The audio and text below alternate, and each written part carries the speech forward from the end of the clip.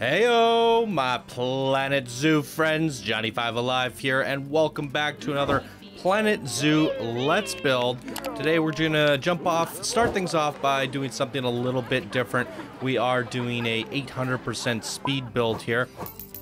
And as you saw in the last episode, I was making some good money, and as you can see in the bottom left here, I am at about $18,000.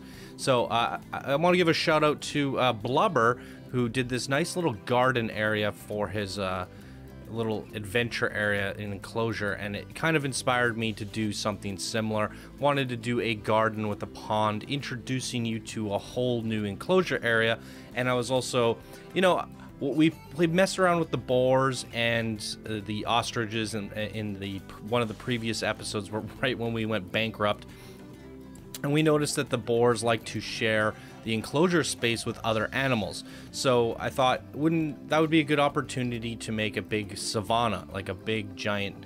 Uh, open, sprawling African style area with tons and tons of different animals. So, like the zebras, the ostrich, the boars, uh, some antelopes, and stuff like that. Just different, a whole slew of different animals. So uh, in order to do that, I, I figured I want to make this big opening area, but start started off with a nice welcoming garden. And you see that you can walk left or right, and it just expands outward and wraps all the way around. And then I wanted to build a overhead viewing area for the savanna so the guests can actually walk up some stairs, walk right to the middle, and look down at all the animals. So we're finally getting into the thick of things where I'm getting comfortable with the game a little bit. You know, I didn't get to try the alpha or anything. I'm doing the beta just like everyone else for my first time, so it's all it's all been overwhelming, uh, and and it's it's it's nice to be able to get in here and finally do a little bit of a speed build. However, it, it is a painful process because as you can see here, the the rotation and stuff doesn't necessarily work properly like it's supposed to. Uh, when you push the X key, the hotkeys aren't really working, so you have to like literally manually re-grab them, move them. Just so the quality of life things for building are just simply not there. So building in the beta really takes like five times longer than it should. So it, it is a bit of a painful process. As you can see, this is eight times speed, and all I'm doing is moving uh, some shrubs across the outside of these railings, and uh, that alone took me uh, like a couple minutes there, which in Planet Coaster would go 10 times faster. So yeah, I'm just like filling up this area with all sorts of stuff. It's going really quickly based on this 8 times speed. So yeah, uh, it, it, it, was fun doing something decorative, something fancy, and I'm looking forward to doing some more stuff like this and maybe even a custom uh, building or something. So I'm playing around with the water effects. It's hard to see it here, but you will get a look at it later on in this episode. So we're gonna build for you know uh, between five to seven minutes. We're halfway through the speed build now, and then I'm gonna switch over to a real-time recording where we're kind of doing like a park spotlight. So it's half speed build, half park spotlight, and I'm gonna let you guys have a closer look at everything in in a few minutes here. See, the, the problem with management, though, in this game is, you know, I see uh, issues popping up as I'm building, and I'm like, ah, I gotta go fix this. So it, it does interrupt the speed build. It'll be much nicer when we have sandbox mode. So I was gonna say something about wildlife there, and I decided to change my mind, and I'm trying to think of a word, and then I was like, ah, let's call it savanna.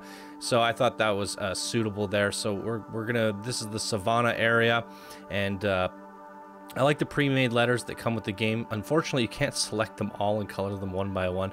The small, painful quality of life things just simply aren't there. So we have our little pond up top that has a waterfall going into the bottom pond there and then just kind of put some wood logs to hold it up, doing them at different various heights and, and just just something to hold it up there. Didn't really want to fiddle with it for too long. So it is what it is, but it's looking pretty good. It's a nice little welcoming pond and as you can see, the uh, pathways wrap around. So it was a little bit of a jump cut there between recordings. I did a backway, uh, what do you call it, employee path that wraps around the back of the garden because we're going to need uh, a water servicing station for that pond so it doesn't go dirty. And then whatever water we add to the back of the savanna is also going to need water service. And then all the animals and stuff are going to need uh, keepers and keeper huts being fed. So we've added in uh, the little servicing station back there, and it's nice and far away from any guest paths, so they're not going to see that. And you can see I'm, I'm almost creating like a, a, a diamond shape or something, and a nice big fat walkway at the top. And here I want to add some water, just some some of the different various animals can go for a swim, and uh, you know get get something to drink there.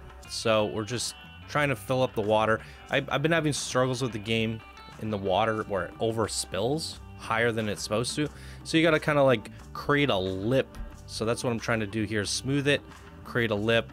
So if you just grab the uh, pull tool on a very light intensity and just kind of bring it up just a tad all the way around, there you go. Finally get that in. And then I noticed the water wasn't quite in range of the servicing area. So I had two choices, either reduce the water and move the location or create a servicing area at the back there and I was having a trouble doing that where it wasn't overlapping the path but still allows us to get the water. So we had to do this little ugly service area at the back but as the park expands out that way it shouldn't be too much of a problem. So that's the main core area. And then uh, in terms of like the decorating, the main decorating, I didn't actually get that into the speed build because I didn't know what I needed, and then I have to add animals. And the problem is, what you don't know what animals are available to you because the marketplace uh, sometimes it fails to uh, bring in the animals. Sometimes the animals aren't available. So over several hours, I kept on refreshing and trying to get different animals. And now as I, as I was getting them in, I was realizing what I needed and stuff. So we'll talk more about that in just a second, but you got to see the fundamentals of me building a new layout, a nice garden. So let's jump into the actual game and take a closer look, shall we? Alrighty, here we are, ladies and gentlemen, in-game at the Savannah. Boom, there's a nice little garden that we made there. Quite happy the way this turned out. Thank, thanks again to uh, Blubber for the inspiration, doing a nice little garden pond. Got me inspired to do my own as well. So I really like the way this turned out. It is quite sharp.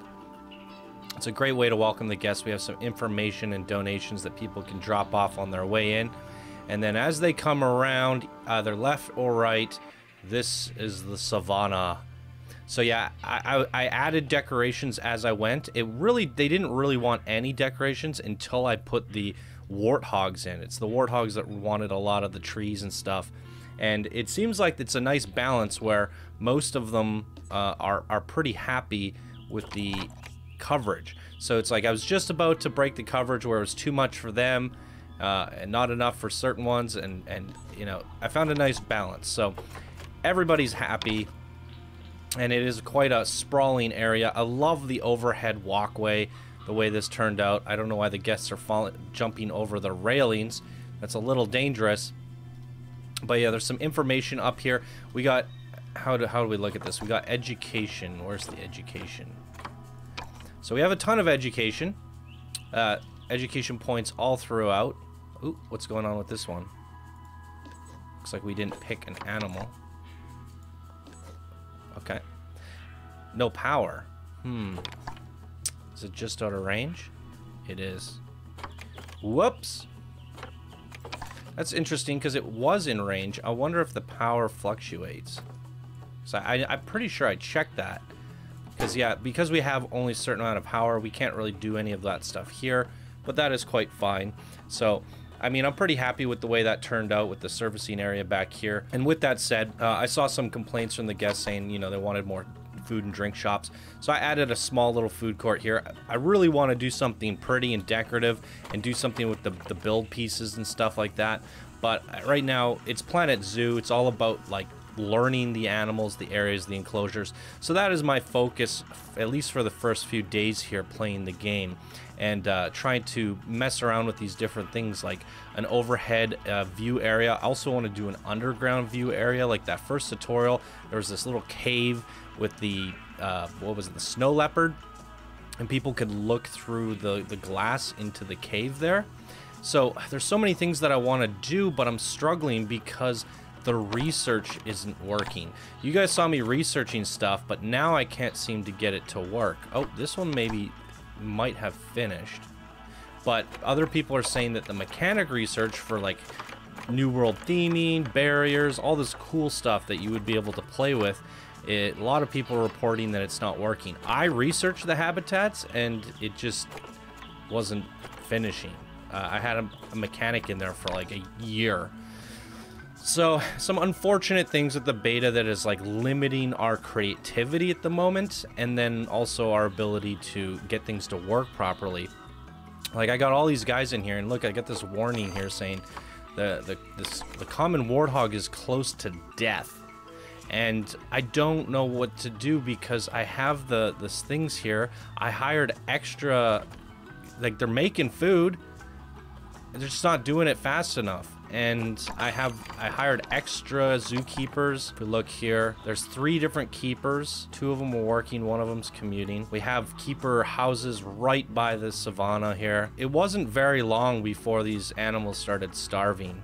Not long at all. I just got them in here. These, these were like my most recent ones. I, they haven't been in here for more than 10, 20 minutes and they're starving. None of the dishes are getting filled up. It's quite frustrating. And I don't know if that's like me playing the game wrong or if that's the beta just not functioning properly. So I, you know, I had this big grandiose plan for tons and tons of animals in here, and uh, it's just sad to find out that some of them are gonna die here, especially because it took me so long to get the freaking warthogs. Because when you come in here to the uh, animal trading, you are limited to what's available. So I've been filtering by cash only because that's all we have available right now. And then as you can see here, uh, if I, I have a notepad that I wrote down what I need. Let me pull this up. So I still need male buffalo. Be, uh, otherwise, if I put the buffalo, the females in here, they'll be unhappy if there's no male so I just had to disable the music. I'm putting the music in the background myself.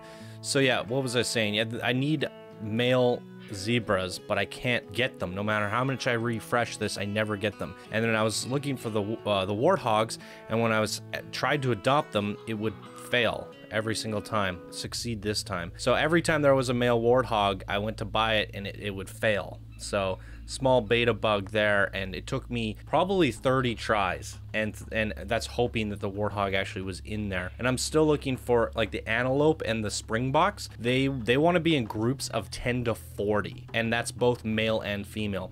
So I need 10 to 40 springboks and at least uh, 10 female antelope with one male. And I still don't have a male antelope. And I've been refreshing this. See, it's always females that I'm getting. And uh, yeah, so I just keep refreshing this. I can't get a male buffalo. I can't get a male zebra. I can't get a male springbok or antelopes, and that's making them unhappy. I finally get the warthogs in here. They just arrived, and they're already starving. I don't understand it. I've got a great amount of keepers and I've got the keeper dens there. Everything's being taken care of. But yeah, it, it, it is what it is. Uh, I, am I'm not trying to complain. I'm just being informative of what's going on and sharing some of my frustrations because what I want to do here is make this sprawling, but I feel like I'm fighting with the game. You know, it's it's kind of messing with my vision a little bit. However, with all that aside, I still am pretty happy with how this turned out. I'm trying to keep it off play mode because I'm afraid, well, you know what, whatever happens, happens. Oh, look, we got a little baby ostrich. Oh my god. Oh, speaking of which, we also have baby cubs. Or not cubs, uh, pups. Look at this. I don't know how big the litter was, but there's a bunch of them. One, two, three, four. It's at least four. But now that they've uh, had some pups, I think that might be affecting their space. Okay, no. There's still plenty of space, which is good. So I'm pretty excited about that. It's the first, you know, babies that I've had in the game. This first litter, I should say. Turtle's still chilling out. Doesn't look like we have any baby turtles or anything yet. And how's our bears doing? So I had an issue with the bears and their cleanliness. I believe I was talking about that in the last episode. Is it? It's happening again. This is ridiculous. See, the keeper walks in and he's just like, I'm out of here. I do not know why. I've packaged up the bears, kicked them out. I've moved the door. I've tried creating pathings so that the keepers can get in here. There's just dirt everywhere and the keepers don't know what to do. They just turn, come in here, and then they turn around. What, what's he doing with this package? Oh.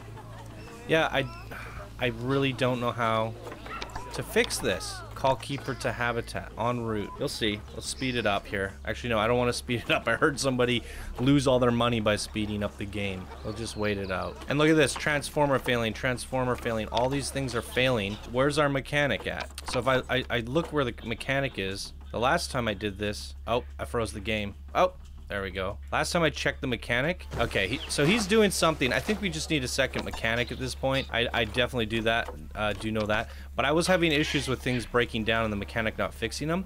He just got stuck randomly. He, uh, yeah, just got stuck. Something is seriously wrong with this enclosure, though. Uh, there, he's fixing walls. Here comes our keeper. There's poop everywhere, and we need you to clean it. Please, for the love of God.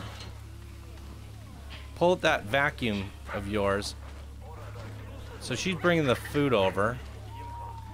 So is... Is it the, uh, janitor? Sometimes these janitors get stuck.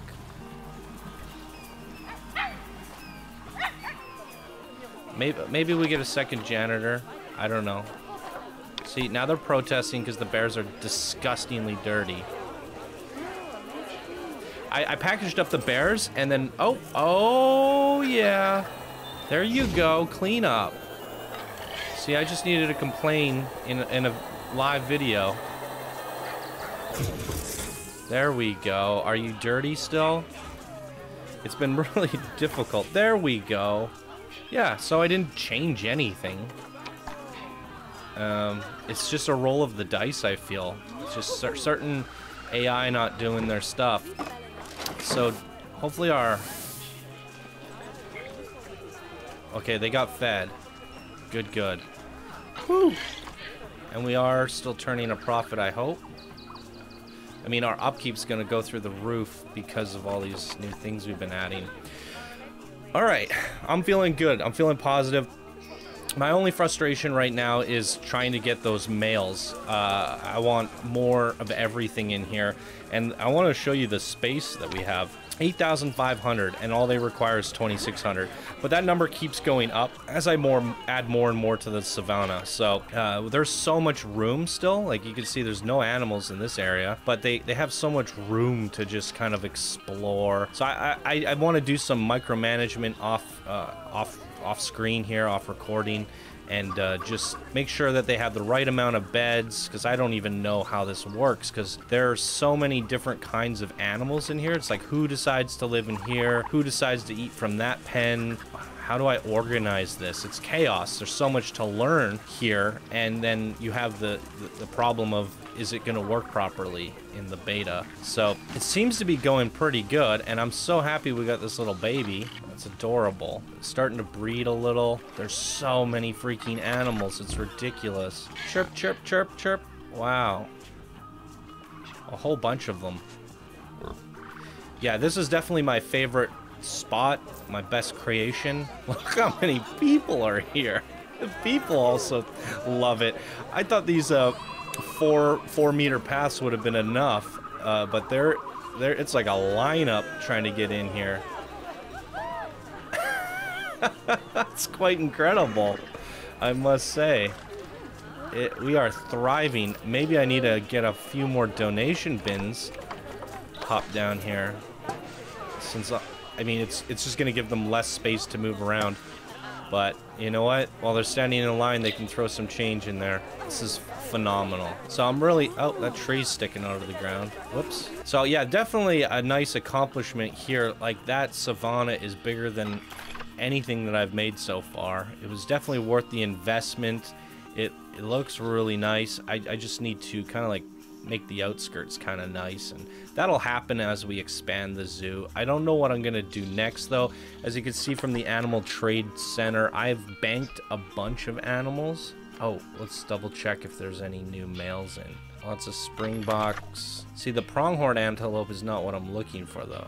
Nothing. Nothing that I need. I think this is my biggest frustration with the, the beta or the franchise mode. I don't. I hope it's not like this on release, but uh, the fact that we can't earn these conservation credits is really haltering my ability to get what I need to build. But when I've been seeing things uh, pop up, I've been buying them. So you can see we have the female buffalo ready to go. We just need a male. This one's still being delivered. This one should have been delivered. Let's move the warthog in. Mm, I want to make a hippo area. We have two females and a male, so that that's a definite possibility. I bought out all the peafowls that I could find, so uh, they like to be in groups, and you can see I got a bunch of males, a bunch of females. So definitely we're ready to go on the peafowl area. I got some lemurs, two males and a female. So I think that'll be a fun one to do because you get to build the little jungle gyms. Uh, apparently, like the guests can actually go in the enclosure and have monkeys climb on them and stuff. That sounds really, really fun. So look, looking at what we have in stock, I think we should do a lemur and a peafowl area next. Maybe even a small little hippo area. And we just got to keep refreshing to see you know, if the buffalo have come in yet. Because if we look at our Zoopedia here, we want to build, like, our savanna needs to have all these animals. So we have a lot of the ostriches. They're breeding, so I think we're good on that. The warthogs, well, there's one male in there. Hopefully he didn't die. Yeah, hopefully he didn't die. I'll, I'll double check to make sure he's in there. But with the two or three females that are in there, they should start breeding. We need a male because it's just females right now and, eventually they'll die off. So we need a male so that they can start breeding. Uh, you can't get the giraffes or the elephants without conservation points. So we're just looking for male antelopes and springboks. And once we get those, all of these animals will be breeding away in here with tons and tons of room to grow. So much to a point where like I can just keep letting them breed and I don't have to sell them off. Look at this little guy. just trucking along. It's phenomenal. So phenomenal. So hopefully they clean up this area and I don't start having an issue. So I've been, my biggest issue right now is the enrichment. So in order to make them truly happy, we need the research so we can we can get enrichment. But the um, the research is just not completing. I don't know why. It's just been sitting there, and people in Discord are saying that the research is not working for them. And if I can't get the research to go, their welfare is always going to be low. And now the cleanliness is being a problem over here. So keeper on route. So between them being fed and cleaning, it's looking like we're going to need a lot more keepers. I, am I'm surprised how much people like this overhead pass to the point where they won't even come back here. The the food that I added, nobody they wanted more drinks. Our mechanics aren't doing their jobs. so between the keepers and mechanics, I just can't seem to get them to keep up. So I'm gonna hire more, I guess. It seems like we're making a big enough profit. Maybe that'll help. Uh, I think I might want to start thinking about designing a work roster for this area and this area. I know in the one of my previous episodes I said don't do that because you kind of just want them to do whatever is available to them. So we'll see. Lots of things to work out on the management front, but I don't know if it's working as intended.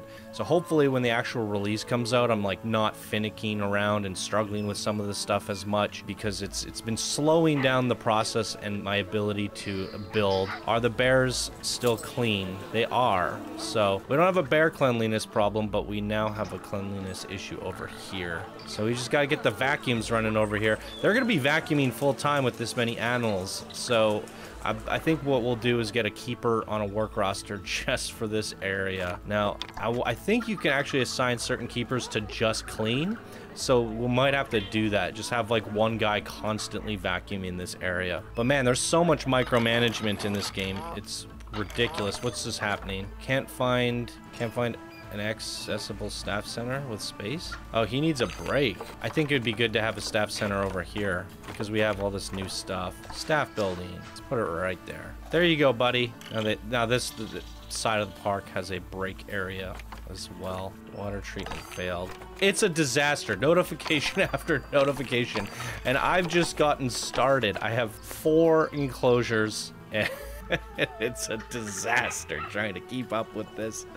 Oh, good googly moogly. So one thing I do want to do is one of my mini projects. I talked about this in the previous episode is I want to build, get rid of the water because they're just not using the water and build a gazebo because I don't like these three buildings. I didn't put much effort into them. Try to build something really pretty so when you come in you see this fantastic gazebo. So that might be one of my side projects. We want to do a monkey and uh, peafowl area so maybe we can sneak one of those in here and just kind of, and maybe one here and just kind of like link all of this up into one nice circle and then just continue expanding.